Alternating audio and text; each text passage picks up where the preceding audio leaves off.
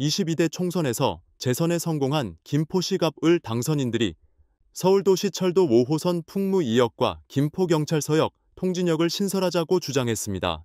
서울 5호선 검단 김포 연장 노선으로 인천시가 제안한 연장간이 탄력을 받을 것으로 전망됩니다. 15일 인천투데이 취재를 종합하면 김포갑 지역 국회의원 당선인인 민주당 김주영 당선인은 22대 총선 공약으로 서울 5호선 풍무 2역과 김포경찰서역 추가 설치와 감정역 환승역 지정 등을 내세웠습니다. 아울러 김포을 지역구 국회의원 당선인인 민주당 박상혁 당선인은 서울 5호선 통진역 설치를 제시했습니다.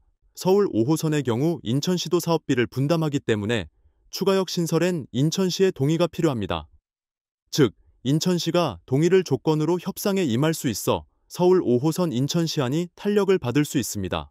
서울 5호선 연장 사업은 서울 방화, 인천 검단, 경기 김포를 연결하는 노선이며 2019년부터 김포시는 서울 5호선을 김포로 연장하려고 했지만 김포 골드라인 개통에 따른 중복 투자가 우려돼 경제적 타당성이 떨어졌습니다.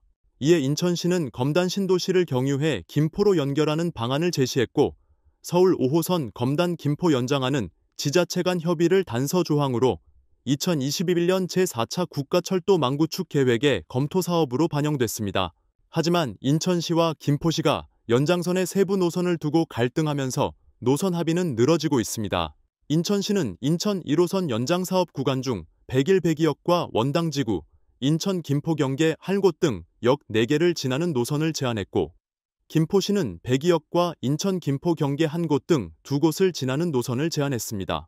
대광위는 올해 1월 19일 서울 5호선 세부 노선을 인천도시철도 1호선 검단 연장 사업 구간인 백일역과 백이역, 검단 김포 경계에 역 한 곳을 추가하는 노선안을 제시했습니다.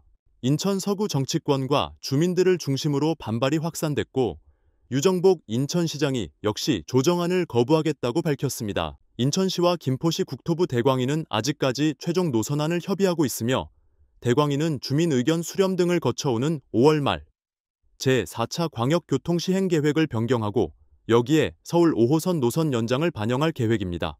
그런데 지난 총선에서 당선된 김포 지역 국회의원 당선자들이 서울 5호선 검단 김포 연장선 김포 내 추가 역사를 공약하면서 인천시가 내세울 수 있는 협상 카드가 생긴 셈입니다. 서울 5호선 검단 김포 연장선은 인천을 지나고 인천시에서 사업비를 일부 부담하기에 김포 지역 내 추가역을 신설하려면 인천시의 동의가 필요합니다. 인천시는 추가역 신설에 동의해주고 원당지구를 포함한 인천 시안을 관철시킬 수 있게 되는 것입니다. 이에 대해 인천시 철도가 관계자는 아직 인천시와 김포시에 최종 노선을 제출하지 않은 상태라며 김포시가 역 신설을 들고 온다면 동의할지 말지 검토할 것이라고 말했습니다. 이상 인투아이 앵커였습니다.